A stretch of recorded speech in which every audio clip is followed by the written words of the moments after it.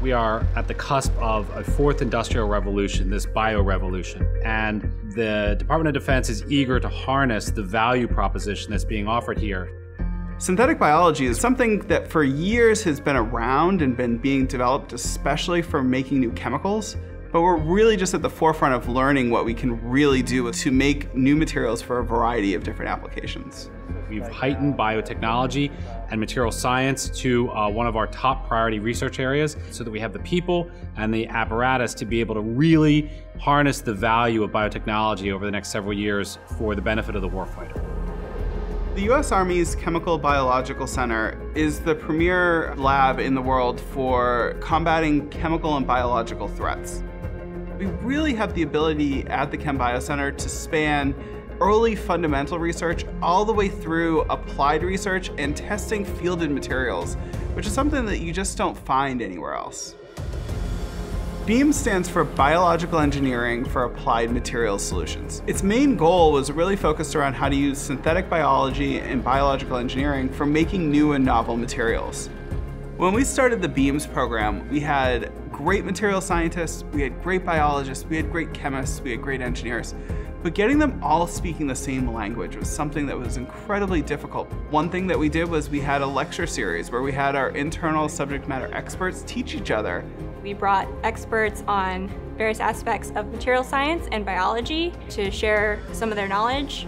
We also did a team-based activity where we got the scientists together to work in the lab and uh, work on a hands-on problem.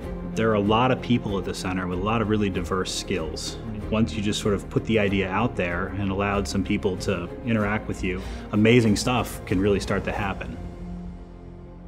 The Synthetic Biology for Military Environments program brought together Army, Air Force, and Navy scientists. We worked together um, on synthetic biology problems. Cell-free systems are an important synthetic biology platform we're able to use all of the active components you find inside cells activated outside of the context of a membrane-bound organism. With a lot of modern materials techniques, we've come up with ways of taking reactions that previously had to happen in a container in a laboratory and literally have them laid down on a simple piece of paper.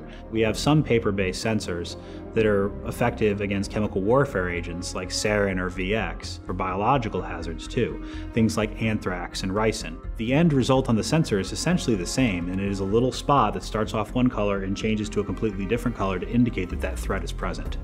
At the Chem Center, not only do we make a lot of things in-house, but we work with a lot of external collaborators at universities as well as within industry. So what this allows us to do is take early fundamental research and then work with industrial partners to make them into real products that we can put into warfighters' hands.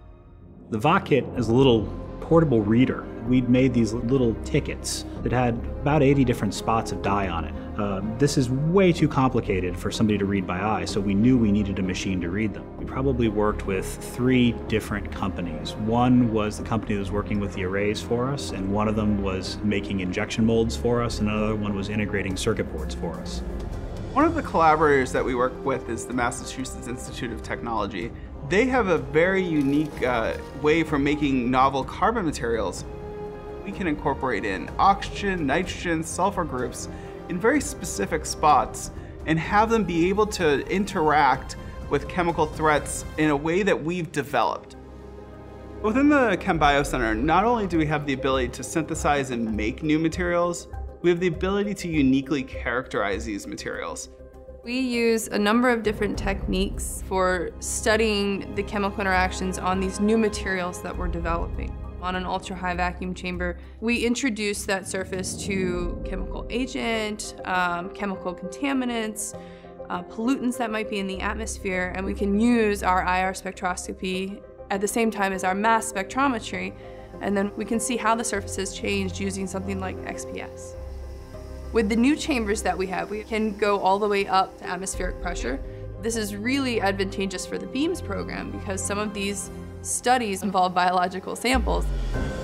Prototyping, getting things into the hands of the warfighter and letting them break it is critical. That requires not milligrams of material, but kilograms of material. Here at Aberdeen Proving Grounds, we have the only pilot scale biomanufacturing facility that exists within the Department of Defense. Over the next several years, we're going to conduct a multi phase upgrade of that facility. We're going to first increase the capacity. We're at 1,500 liter fermentations now. We're going to move up to 5,000 liters. Advanced materials has become central to the way we are uh, choosing and selecting and prioritizing what we manufacture in the facility. At the Chem Center, you have a real opportunity to grow a career here. The projects that we work on are very riveting and things that we can see go from fundamental science right into real world products. The center values generalists because our mission changes as the need of the warfighter changes. So we're encouraged to continue to develop throughout our careers, take on new skills, and try new challenges. Getting to work with this high end equipment and apply it to a real world problem, and also a problem where we're talking about how to protect our soldiers, it really gives a lot of meaning to what you do when you come to work every day.